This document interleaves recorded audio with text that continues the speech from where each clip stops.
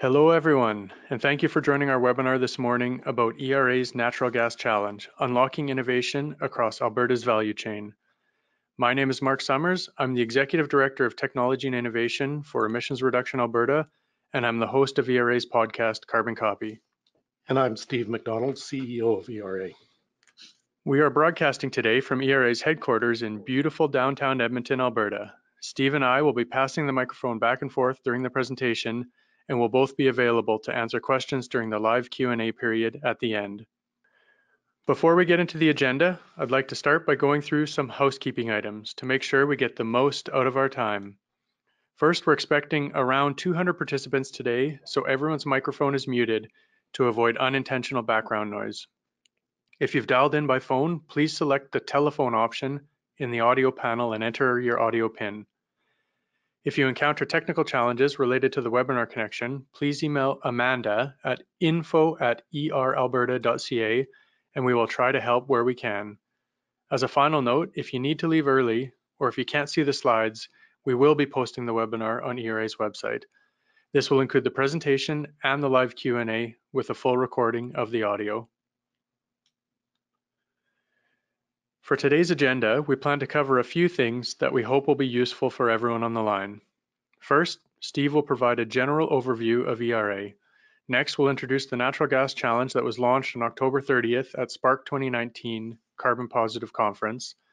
We'll cover the scope and eligibility for the call, the submission process, and timelines around ERA's funding decision. Third, we'll share some advice for anyone that's interested in making a submission. And finally, we'll end off by answering some of your questions. On that note, if you have any questions you would like us to address, type them into the questions pane of the GoToWebinar control panel. We'll try to answer as many questions as we can, but if we don't get to your question, you're very much welcome to follow up afterward. Now I'll turn it over to Steve to get things started by telling you about ERA. Thanks, Mark. I'd like to begin by talking a bit about how ERA fulfills the vision, mandate, and value proposition that you see on this slide. We were established 10 years ago and originally known as the Climate Change Emissions Management Corporation. But ERA has been the mechanism for investing the carbon price paid by large industrial emitters into clean technology solutions that help Alberta, Canada, and the world achieve climate change goals. The original policy rationale for the creation of ERA was grounded in the reality that climate change goals are so ambitious that they can only be achieved by accelerating the development and deployment of new technologies. Over the years, governments have changed, climate policy and goals have shifted, and regulatory frameworks have been modified. But one of the constants has been a commitment to use public dollars to leverage the significant investments required to identify and scale up the innovation needed to ensure that Alberta succeeds in a lower carbon world. Just two weeks ago, Minister Jason Nixon introduced Alberta's new Technology Innovation and Emissions Reduction System, fondly referred to as TIER. TIER is the centerpiece of the government's upcoming climate strategy, and it creates a new framework that maintains a price on carbon to help energy-intensive facilities find innovative ways to reduce emissions and invest in clean technology. The last point I want to make on this slide is that our vision is anchored, anchored in our belief that our success is measured in both economic and environmental outcomes. We fondly refer to this as our the genius of and vision. In other words, our investment investments are designed to improve the carbon and cost competitiveness of Alberta. As I mentioned, our projects align with Alberta's economic and environmental priorities. To ensure this alignment, ERA has created a technology roadmap to guide our investment decisions and inform our portfolio mix. And it's a living document. We review it regularly and refine it to ensure that we are being responsive to the needs of the province's industries, innovators, and investors. The roadmap helps us define the pathways, opportunities, and the barriers to allow Alberta to thrive in a low carbon future. It also helps us lay out the tactical options for delivering the right solutions and identify the key milestones and deliverables to measure success. And this includes mechanisms to communicate and demonstrate our progress. A copy of our roadmap can be found on our website if you want to explore it in greater detail. As you can see on the screen, Our areas of focus cover all sectors where there are significant emission reduction opportunities. And our portfolio includes opportunities across multiple time scales. Some have immediate impacts in Alberta by creating jobs and reducing emissions, in fact, before the project is even finished. These projects are exciting because they are tangible and the results are quantifiable now. They are really about doing the same thing better. We are also looking at some truly transformative opportunities that can change the very face of an existing industry. But we also invest in groundbreaking technologies that don't address an, address an immediate industry need, but rather they create new industries, new economic activity, and new jobs. They can grow the economy without growing emissions. At our Spark conference last month, Minister Nixon announced two great examples of this diversity in our portfolio. The first was our Grand Challenge Round 3 announcement. Two projects will share 10 million after competing in, a in our five-year competition to find the world's most innovative technologies to turn carbon dioxide from a waste stream into valuable products. Mangrove water technologies and CarbonCure technologies are potential game changers in the emerging industries around carbon utilization. The second announcement was the natural gas challenge that we're chatting with you today. Partnerships are central to our success and are critical to delivering on our commitment to drive commercialization. They help us to convey the right resources and bridge the gaps on technology, business, financial, and capacity challenges. Equally important, partnerships enable us to align efforts so we can limit duplication in the innovation system. They also help us leverage funds so we can maximize the, the level of our investments and share risk to accelerate technology development. In fact, when you provide ERA with your funding submission, you have the opportunity to have your submission shared and considered by other, other funding organizations such as Alberta Innovates, SDTC, and the Natural Gas Innovation Fund. Mark will talk a bit more about this shared opportunity. So lastly, I want to share with you some of the results that ERA has achieved. This slide gives you a sense of our portfolio mix across our four focus areas. Since our inception in 2009, we have committed 557 million to support 169 projects valued at 4.3 billion dollars. This large project project value is reflective of the fact that ERA tends to focus on later stage technology with high capital costs. It also reflects our ability to leverage 7 to 1 funding from project partners. But more important than these activity measures are the outcomes we are achieving we are on track to deliver cumulative GHG reductions of 41 million tons by 2030. These investments will also lead to the creation of the equivalent of over 22,000 person-year jobs by 2023 and contribute over 3.2 billion to Alberta's GDP. Well, so I hope you now have a bit more context on who we are, uh, the outcomes we're trying to achieve and how we work to identify and accelerate technologies. With that, I'll go and hand this back to Mark, who will give who'll get into the details of our latest funding challenge.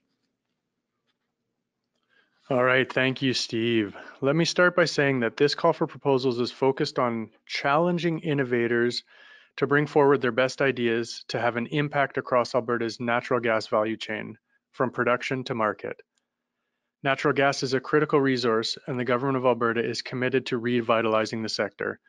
Our province's substantial natural gas resource base, highly skilled workforce, and access to Canadian and international capital creates an opportunity for Alberta, it, eh, an opportunity for Alberta to be well positioned to be a world leader in the natural gas movement.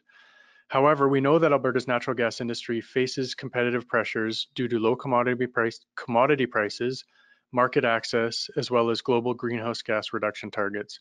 So ERA's Natural Gas Challenge was designed to advance novel technology to help alleviate these pressures and bolster the resilience of Alberta's natural gas industry. To help define the scope of this natural gas challenge, ERA hosted two workshops, one in person and one over webinar, that included industry, innovators, government, and other experts. What we heard was that tremendous opportunities exist to decrease emissions, increase competitiveness, and tackle the barriers to advancing technology. And in this challenge, we're making up to $50 million available for technology advancement projects across Alberta's natural gas value chain. Again, from production to market, everything from the reservoir and the wellhead to the distribution and the consumer. ERA's $50 million will be leveraged with industry funding and private investment to generate more than $100 million in new investment for Alberta's natural gas industry. Up to $10 million will be made available for individual projects. Now, of course, as is our mandate, all projects funded through this call must demonstrate significant potential to reduce greenhouse gas emissions and grow Alberta's economy. To give you a sense for the types of projects we expect to see in this call, a list of examples is provided here and in the call for expressions of interest document. To be clear, these are just examples and are not exhaustive. I fully anticipate that some great opportunities will come in that we did not foresee. In fact, I'm often delighted to see new and fantastic ideas that I didn't know were out there.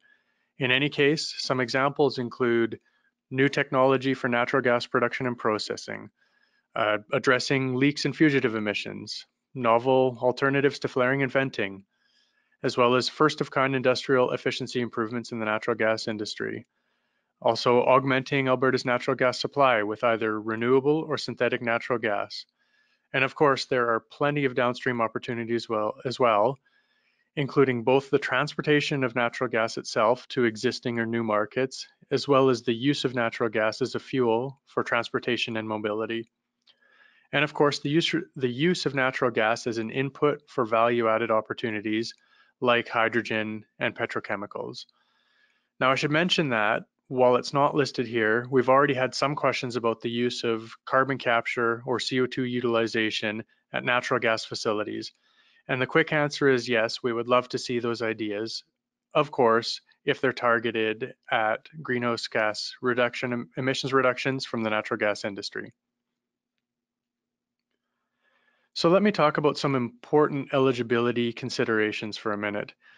The first is that, and I want to emphasize this, that we fund capital P projects with clear objectives, milestones, timelines, deliverables, and a budget.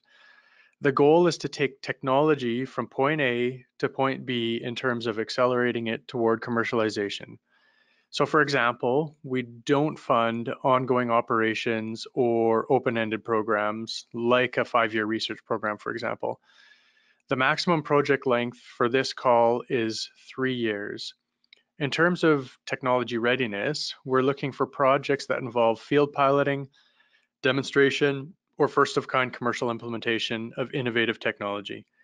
And we know that good ideas and good technology can come from anywhere. So applicants and technology providers can be from Alberta, from across Canada, or even internationally based. And proposals are invited from really any kind of applicant, including technology developers, industry, industrial associations, large organizations, small and medium enterprises, research and development organizations, universities, municipalities, not-for-profits, and even individuals. However, I want to make sure this is clear. While technologies and applicants can come from anywhere, they must be piloted, demonstrated, or deployed here in Alberta. And finally, uh, I should mention that we encourage collaboration. Partnerships are both eligible and encouraged to apply. Uh, to apply. This can be partnerships between industry operators and technology developers, for example, but can also involve post-secondary institutions and others that will add value to the project and to the province. So as I mentioned, we have $50 million available for this natural gas challenge with up to $10 million per project. We also have a minimum funding request for this challenge, and that is $250,000 for any individual project. As is our standard practice, we will match eligible expenses on up to a one-to-one basis meaning that for every dollar that the applicant and partners put into a project, we can put in up to $1 also. We have a detailed eligible expense guidelines document on our website that outlines what expenses are eligible and what are not eligible. This document will be more important at the full project proposal stage of the process, but I encourage you to take a look now just to make sure there aren't any big surprises on your end as you go through the process. And as always, we only match costs on a go-forward basis. This means that any costs incurred before ERA's funding approval will not be considered eligible. Finally, uh, I also want to emphasize that this is a highly competitive process, and unfortunately, not all projects will be approved for funding. In fact, every one of ERA's call for proposals over the last 10 years has been oversubscribed in terms of the total funding request relative to the total funding available. We often receive 10 times more in funding requests than we have available. So it's important that applicants make a strong case for why their project should be funded. ERA has a rigorous selection process with a team of experts who evaluate the challenge submissions and help pick the best opportunities for ERA. So I'll summarize our submission and evaluation process here, and on the next slide, I'll talk about the timelines of this process.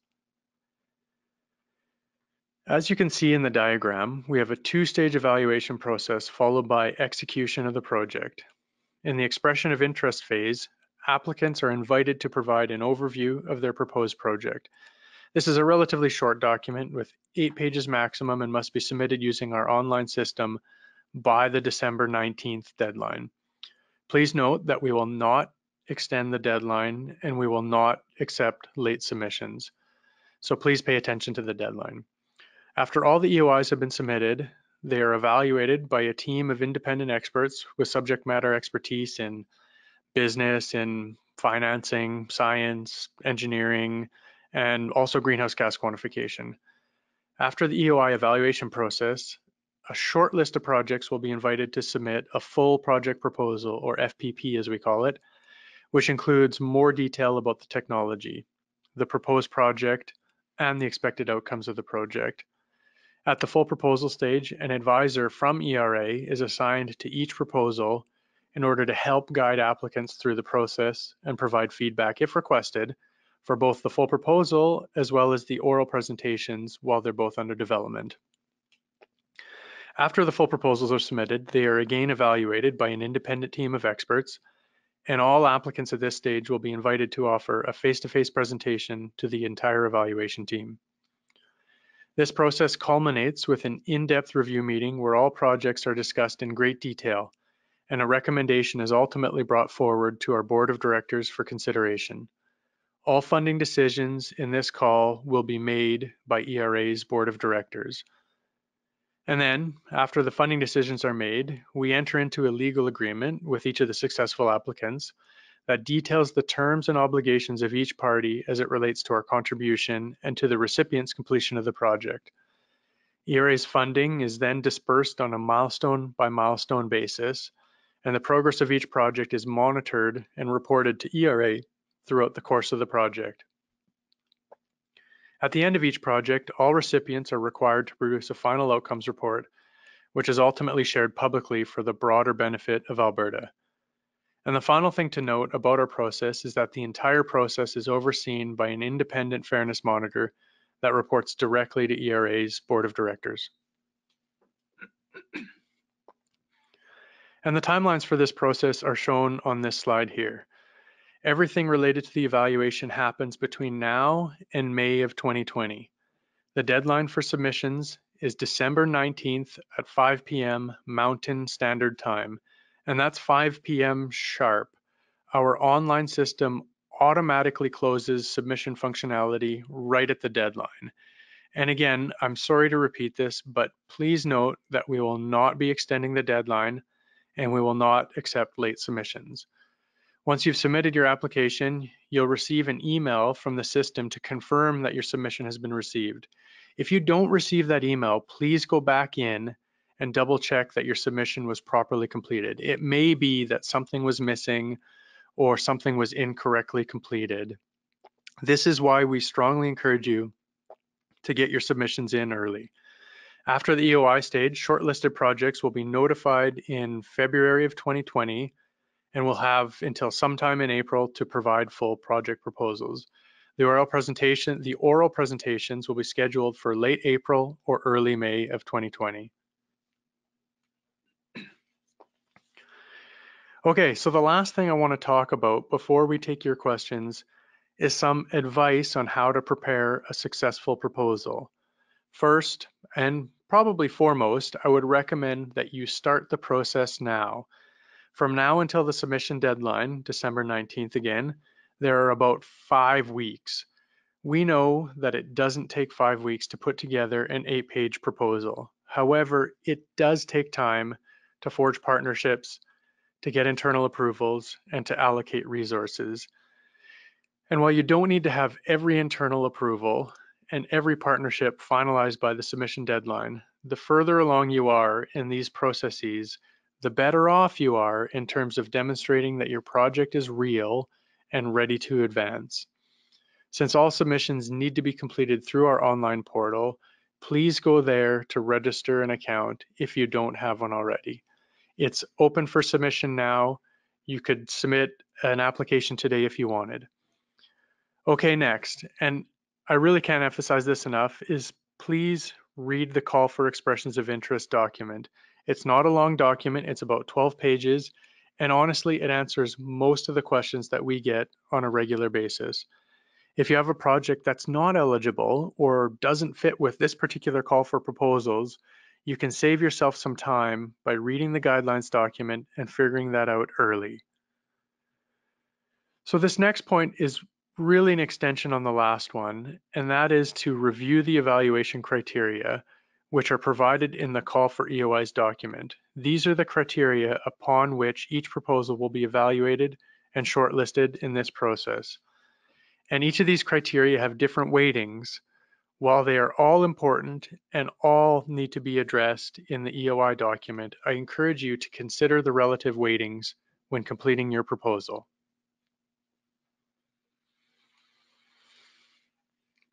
Building on that point, when you're completing the EOI document, it's important to use clear language and to address all of the points laid out in the template document. We've put in some effort to point out the important information that you should include in your proposal. My strong advice to you is to address all of those points in the template and address them clearly. While our evaluation team consists of subject matter experts, if they can't decipher the information that's necessary to make a qualified assessment, or if the eight page document is filled with extraneous information, they won't have the confidence necessary to move the application forward in the process. And speaking of the eight page limit, I think it's also worth noting that you're most welcome and encouraged to include optional letters of support. These letters of support don't count toward the eight page limit and in some cases can be quite beneficial. And last, but certainly not least, is please do not wait until the last day to submit your application. I can tell you that we have lost good opportunities in the past because of deadlines that were missed. Our deadline is a matter of fairness to all applicants and is something that we are firm on. If you have technical issues during the submission process, our IMS team is quite happy to help resolve those technical issues, and we try to be very responsive to the requests that come in. However, I can assure you that if you wait until the last day, it's entirely possible we won't be able to address all of the last minute issues that arise. And finally, before I move on to the questions, I want to take a minute to talk about leveraging funding from our trusted partners.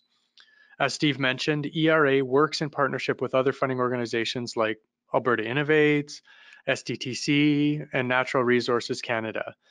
In some cases, there may be an opportunity for ERA to share your proposal with our trusted partners and explore the possibility to leverage funding available from these organizations. During the submission process, you'll have the opportunity to allow us to share your submissions with our trusted partners, and I encourage you to do so. If you agree to this in the system, ERA will only share your application with partners where we have a non-disclosure agreement in place and for the sole purpose of exploring further funding leverage. Now, this call in particular is very well aligned with the Natural Gas Innovation Fund. It was launched simultaneously with a $3 million funding opportunity from NGIF and has the same deadline for submission of proposals. When you go through ERA's submission process, you will also have the opportunity to indicate whether you want your proposal shared directly with NGIF for consideration in their funding competition. In their funding competition. I encourage you to visit NGIF's NGIF's website for more information. All right. Well, if you've made it this far, uh, and if you're still awake, this is your opportunity to ask questions of Steve and me. Please type your questions into the questions pane of the control panel, which is typically on the right-hand side of your screen. For this part of the agenda, we're, we're joined by the newest full-time member of the ERA team, Isabella Tarasco, who will be sifting through the questions and reading them out loud for all of us to answer. Good morning, Isabella. Good morning, everyone. So while you get your questions in, let me mention that we're going to try answering the questions that have the most value for the entire audience here. So if you have questions about the process or anything we've mentioned, or even about ERA in general, that's great. If you have questions about the specific eligibility of your technology or your project, please note that we probably won't be able to address those on this webinar. All right, Isabella, over to you. What questions do we have coming in? Uh, the first question we had was from Cameron Young. Uh, would successful projects under the challenge be eligible for participating in offset protocols of the tier? Yeah, um, that's an important question, and that's one that we did not address. So thank you for that. Um, there's there are certainly some nuances there and some details about the recently announced tier framework that have have yet to be uh, detailed, and so there there may be some changes in this regard. But typically speaking, if a project is uh, awarded for funding by ERA, it does not restrict your ability to either A, have those reductions count toward the compliance obligation of the large industrial facility if it happens to be at one of the facilities that will be captured by the tier regulation, or B, uh, generate offset credits if it happens to be at a non large industrial emitter site or one that isn't captured by the what's currently the CCIR regulation or um, going forward the tier regulation. Thank you. We have another question from Nicola Rossetti. Uh, eligible projects are strictly related to natural gas supply chain or are projects um, in other sectors applicable as well? Uh, so it'd be I'd be interested to hear specifically what you're thinking about in that and happy to have a one-on-one -on -one conversation. Overall, I would say that this is this call is primarily focused at improving the competitiveness and greenhouse gas uh, footprint of Alberta's natural gas industry. But that, that industry is broad and spans, uh, you know, as, as I mentioned previously, right from the reservoir and the wellhead all the way to uh, downstream opportunities, distribution and, and consumers, and even value add opportunities like petrochemicals and creation of, of hydrogen.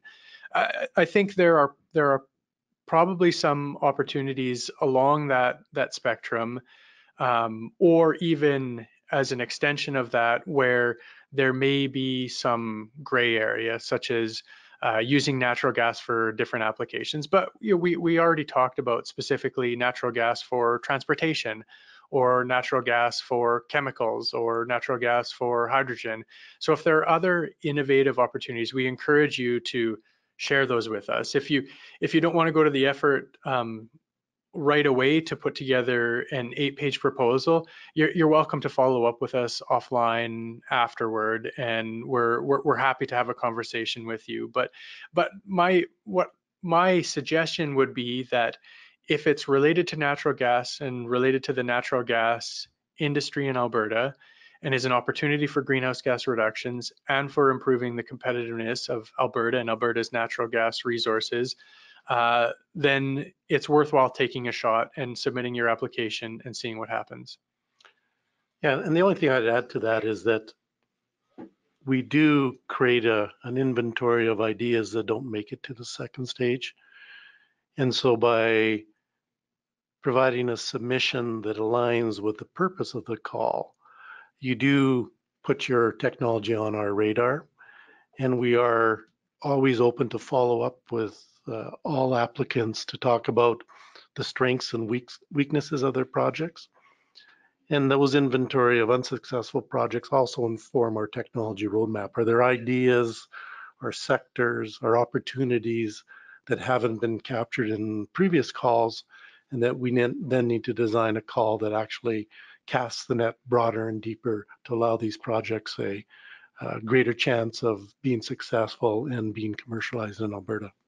Yeah, thanks, Steve. That's a really, uh, really important point. And I would say another question that we get sometimes, and maybe just for everyone's uh, information, we don't um, black. If, if you submit an application that that doesn't fit with this call for proposals, um, and and it's great if you put that that opportunity on our radar screen.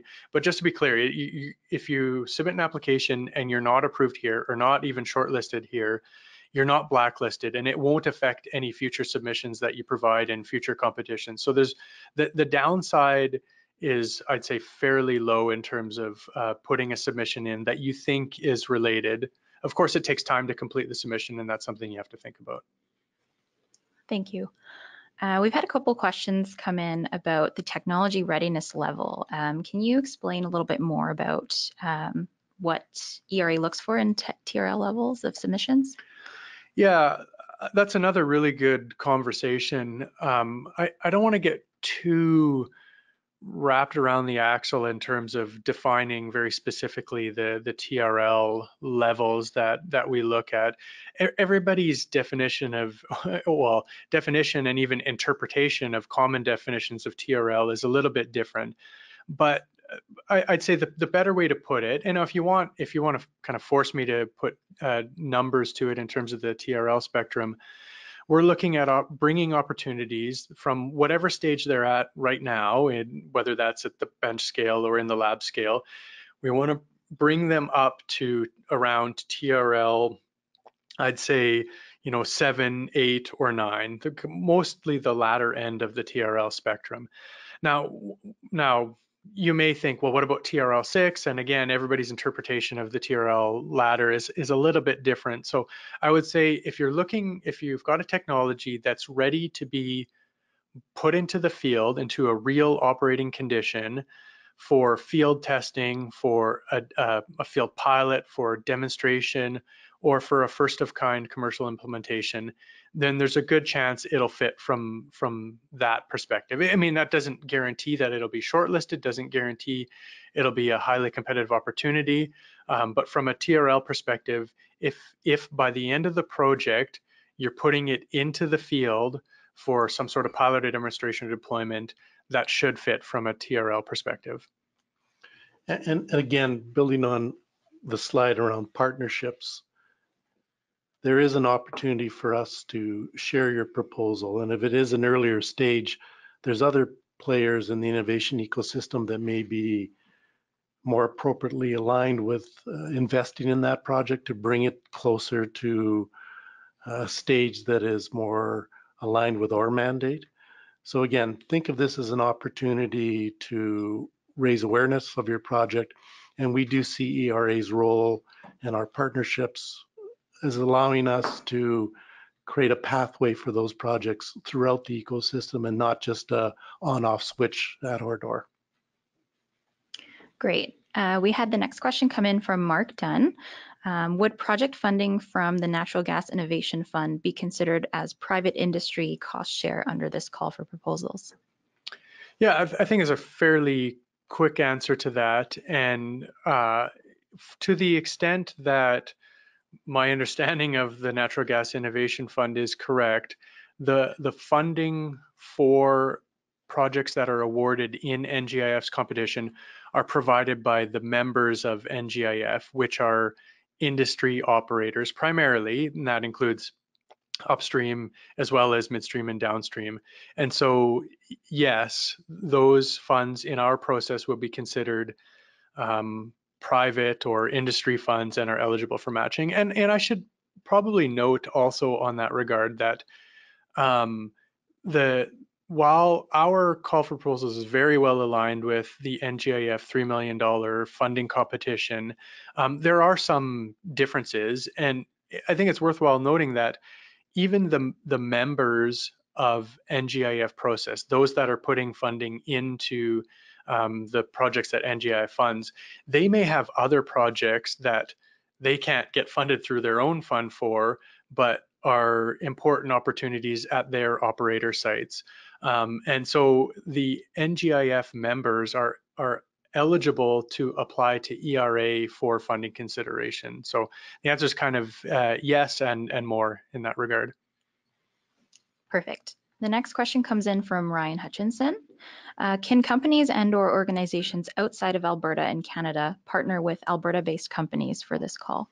Uh, the quick answer is yes, absolutely. We've we've seen some very successful opportunities where, um, for example, and this is just one example, a technology provider from outside of Alberta partners with a local industrial operator, uh, natural gas pro producer, processor, or we've seen it in other industries as well.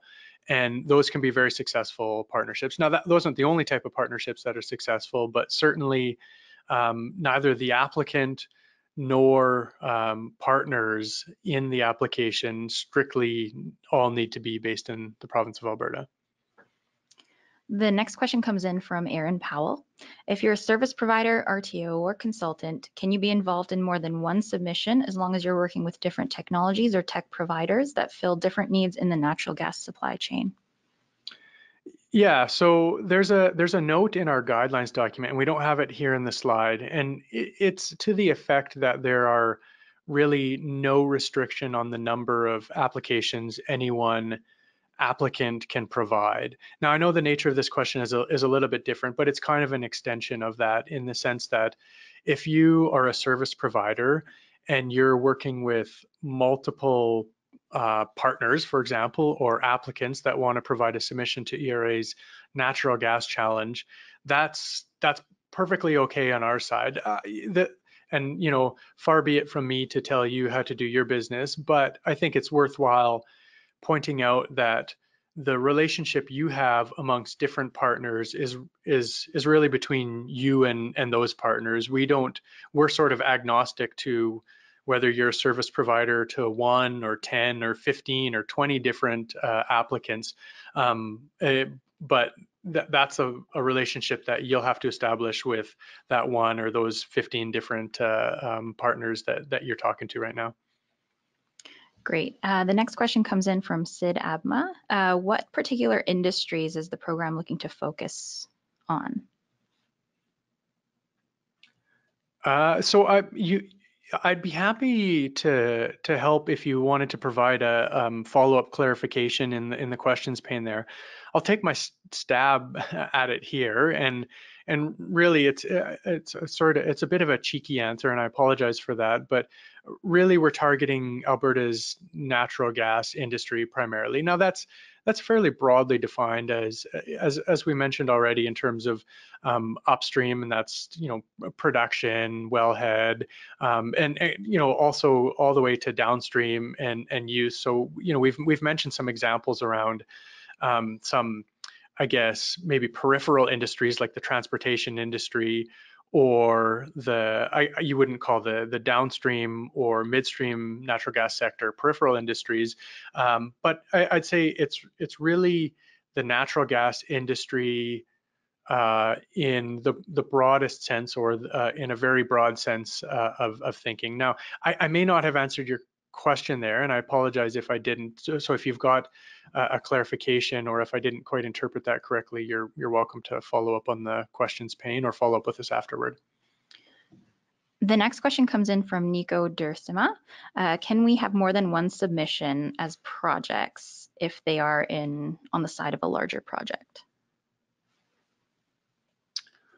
Uh, I, again, I apologize, and uh, I'm, I'm not 100% sure I fully understand what the question is. But the, the quick answer is you can have more than one submission. You can submit more than one project. Now, on that note, I my what I would encourage folks to do is rather than uh, take a shotgun approach and say, "Hey, I've got 20 projects and I want to toss them all in there just to see what sticks." It's worthwhile high grading the opportunities internally and uh, uh, really carefully going through our guidelines document and and the criteria and trying to assess which projects you've got on the docket internally that you think will be best aligned with ERA's natural gas challenge. And now, again, having said that, you're you're welcome to submit multiple applications. Where where it can get a little bit tricky is if you submit we've seen this before and and I don't know if this is what you're thinking but if if applicant submits a number of different applications that are very slight variations of each other for example if it's the same technology with the same industry partner um, but it's at uh, two different sites or three different sites and you submit three different applications that it can make it a little bit difficult for our evaluation team um, to to decide which is the best application or um, what the best path forward is in terms of um, selecting one or more applications. So uh, if you are going to submit multiple applications, I, I, would encourage you to make sure that there's a, a, distinct and a unique value proposition in each of the applications that you're submitting. So I, I again, I hope that answers the question, but uh, feel free to, to clarify if, if it didn't. Thanks, Mark. Uh, the next question comes from Rick Nelson. Um, are renewable natural gas initiatives eligible? Uh, yeah, thanks, Rick. And I, it was on one of our previous slides. I, I, don't think we'll flip back to the slide. Uh, I may or may not have mentioned it verbally, but uh, yes, that's a good question. So augmenting the supply of natural gas, whether it's for internal use or for exports with either renewable natural gas or synthetic natural gas is something that we we anticipate to see some submissions in and something that uh, I think would be eligible. Thank you. We've had a couple folks ask about uh, time frame of project execution. Can you maybe elaborate a little bit on that? Sure, I can offer some thoughts, and and similarly, again, if uh, if there's something that I've missed or you'd like further clarification, please uh, feel free to let us know.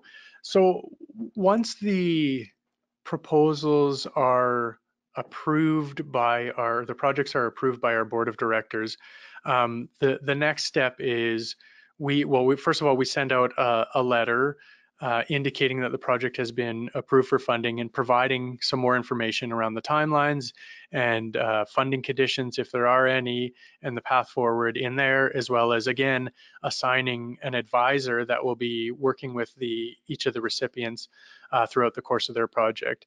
Uh, so in terms of the timelines, we, we generally provide uh, a period of about somewhere between three and six months in order for the legal agreement to get executed.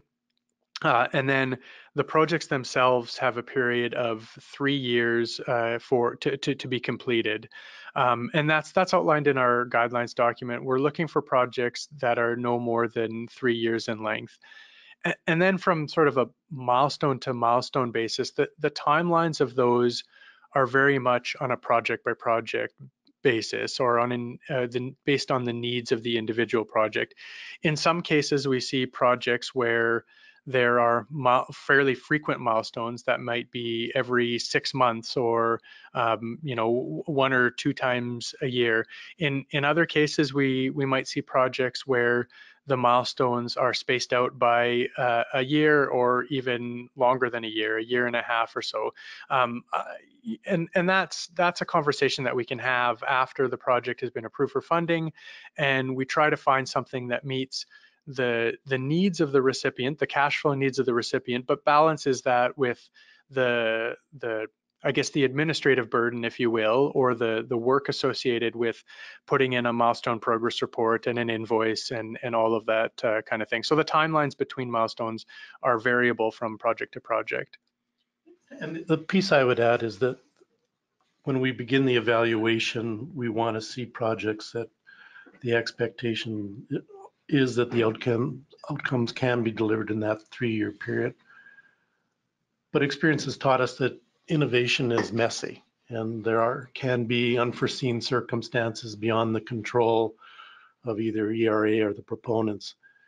And so I would add that there is some flexibility. Uh, we've seen mergers and acquisitions uh, change sort of the the governance and the funding uh, models within organizations. Uh, projects can uh, be based on the assumption of the certain delivery dates of uh, technologies that beyond circumstances beyond anyone's control, they can be delayed. So we also recognize that we want to deliver the ultimate outcome. If you've been successful, if your technology has stood out from the hundreds of other applicants as the uh, promising idea, we really do want to see it through to success. And so there is some flexibility there. The key thing though at the front end, what the reviewers are looking for, is this a reasonable expectation in terms of the projects? And can we, is there the commitments, uh, that all the conditions of success are in place to actually deliver the outcomes and the timelines that, uh, that are being proposed? But there is some flexibility as the projects evolve. Yeah, thanks, Steve. That's a really important point. Actually, further to that point, there's one specific situation that I wanted to mention, and, and this is this is described in our guidelines document, but I think it's um, probably worthwhile sharing with everyone. And that is, in for some types of industrial operations. And uh, I'll pick on in particular, and pick on isn't the right word, but I'll mention particularly petrochemical facilities. We know that petrochemical manufacturing facilities have high uptimes, and in, in many cases, they have long time periods between facility turnarounds. And if you want to implement something at that facility oftentimes it has to be done within uh, whatever a one week window every 18 to 24 months or whatever the the, sched- the turnaround schedule is for that particular facility. So those timeframes um, hitting those timeframes is, is important. And so what we've mentioned in the guidelines document and what i want to reiterate here is that if you've got a a good idea or a project that you want to bring forward related to a petrochemical facility or, or really any other uh, facility that that has similar issues, we are we are comfortable um, discussing uh, potential uh, delay or um, timing of the project such that it can align with facility turnarounds. We don't we don't want yeah, we know that our our timeframes are are tight, and we know that innovation doesn't always happen exactly on our timelines. But we want to be able to work with the the timelines of innovation that's already out there, and we don't want um, these timelines to be an impediment to uh, to putting novel technology or important opportunities at facilities that have um, tight turnaround schedules and turnarounds that are what you would maybe say is few and far between. Thanks, Mark. Uh, we've had quite a few folks ask about um, the first in kind technologies. And for example, if you're combining different technologies in a, a new configuration that hasn't been done elsewhere, uh, would this new configuration be eligible? Yeah, so maybe I'll start by answering that specific question. Uh, and um, and then uh, maybe provide a little bit of thoughts and more generally speaking. So specifically, if you're talking about um, uh, configuring one or more uh, proven technologies, commercially available technologies in in a new uh, configuration or a new way uh, that's that's innovative or that has uh, that has some sort of uh, risk associated with it, novelty associated with it. Um, yeah, absolutely. I think that that's something that could fit into the the quote unquote first of kind category. Uh, it, you know, I, I, think it's also worth mentioning, and we go into a little bit more detail in the guidelines document about this. What, what we want to avoid in some senses is um, uh, the the deployment or uh, widespread adoption increasing the market share of commercially proven, commercially available, off-the-shelf technologies, where really the only gap for further deployment is a financial barrier. So we always want to see that there's some sort of risk associated with the project or some sort of justification and need for ERA's dollars to come in and help de-risk that innovation. So one example, exactly as you've mentioned, Isabella, and, and was mentioned in the question, is uh, is a, a, technology or a combination of technologies that are commercial, um, but are being demonstrated or deployed in a new way that's innovative or novel. Another is, in some cases, we've seen opportunities that have maybe been commercially deployed uh, off continent or in the southern United States, but have never been tested in Alberta's climate with the climate variability that we see from season to season and, and even year to year. Uh, and so sometimes a first of kind can be something that's been done elsewhere, but it's the first time it's ever been demonstrated or deployed in the province of Alberta for some very specific reason. So that's a couple examples, and again, I hope that's uh, helpful. Great. Uh, we've had another question come in kind of on that same line. Uh, what if this, can this application be part of an ongoing project? Uh, so I'm I'm not entirely sure what you mean by that question, and I apologize again if I misinterpret it. Um, but you know, I, I mentioned on a previous slide that our funding is on a go forward basis. So we we cannot um, award or contribute to costs that have been incurred in the past, or even to costs that are being incurred now until the time that ERA's funding approval is made. Now, of course, with, with any project that's ready or almost ready to move to the pilot stage or demonstration stage or for that matter the commercial deployment stage there's probably been some work that's already underway whether it's a feasibility study or front end engineering design or something like that. And uh, of course it, it's uh, we those are the types of projects that that we want to see. And so if if it's ongoing from that regard or the next you know phase of development in in a project um, i think that that absolutely fits. But but again be careful if it's something that you're in the middle of constructing right now but you've just kind of run out of money um, then it, it, it, may not fit. But you know depending on the specifics of the situation we may we may want to have a quick conversation just to kind of tackle that down. Great. Thank you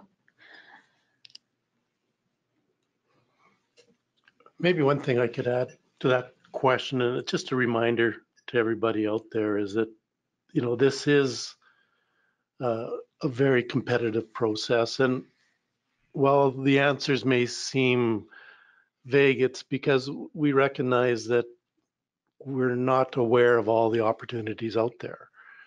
And back to sort of our earlier responses that, you know, it's an eight page initial response. Um, if you, after listening to all we've said today, when you go through the guidelines, you have a strong belief that you fit in this call, we encourage you to submit uh, your project and let uh, us evaluate it uh, for two reasons. One is it may be that gem of an idea that we just didn't contemplate and it should move forward.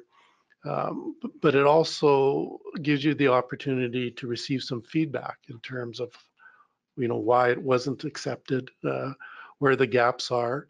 And finally, it also gives us an opportunity to refer to someone else in the ecosystem that could maybe help you find a customer. Uh, uh, point to the fact that um, you really don't have a, a, management team in place that could take this technology to a commercial stage or whatever the gap is. So um, recognize that it is a very competitive process. So it's, uh, and we're very hard markers.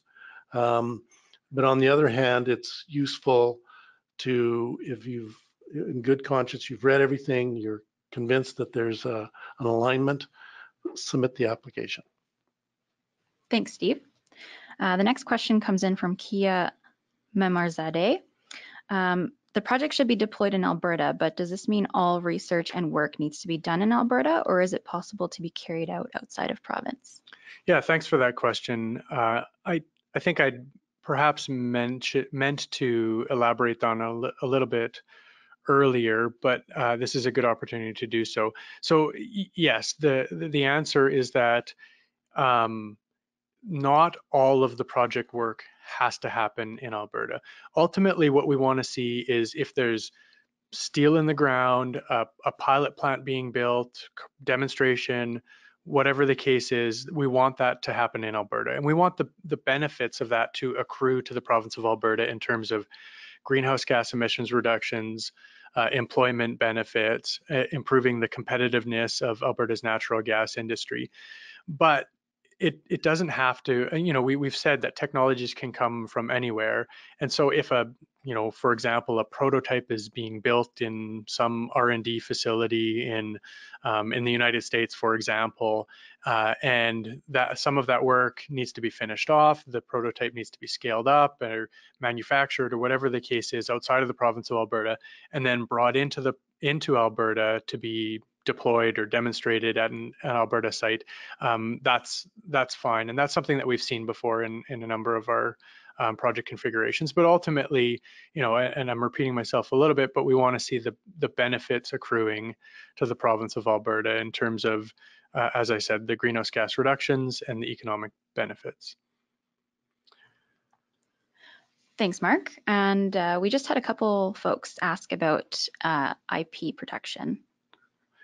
Yeah, okay, so that's that's another good question, and this this may be one that's worthwhile to follow up offline if if the answer isn't perhaps as detailed as um, as is necessary here. So our interest is not to own any intellectual property in normal normal circumstances, and in in in fact for all of the projects that we've completed in our portfolio, we don't have any interest in taking an IP ownership position.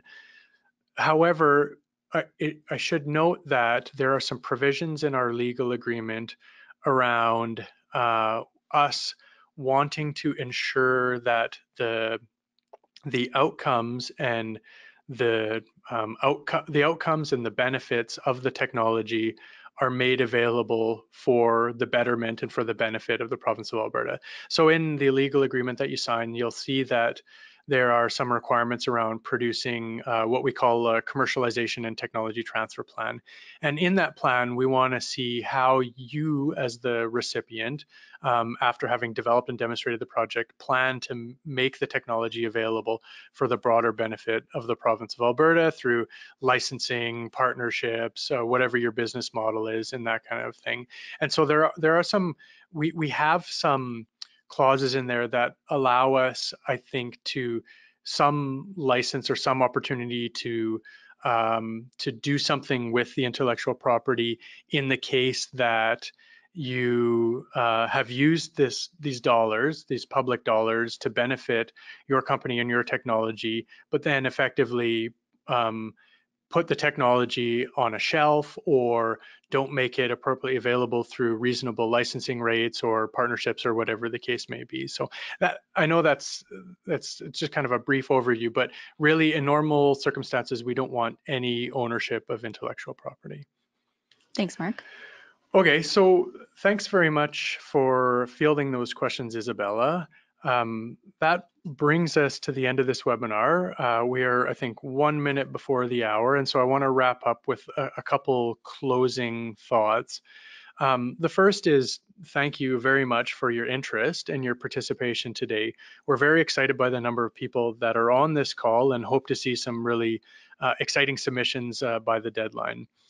Uh, another thing I wanted to mention that's not on this slide is if you go onto our website and click the link into the IMS system, that's where you'll find all of the templates, uh, all of the guidelines documents, and all of the information that's necessary. And from there, again, if you have any questions, and and even uh, after this uh, webinar is completed, if you have unanswered questions and you've reviewed the supporting documentation, you've looked at the template, but you still don't have an answer to your question, you're more than welcome to email us or contact us by email at applications at eralberta.ca, and we'll try to make sure that we get to all responses in a timely fashion. Uh, final note is that we hope to have the webinar posted to our website by the end of this week. And thank you once again, and I hope everybody has a wonderful day.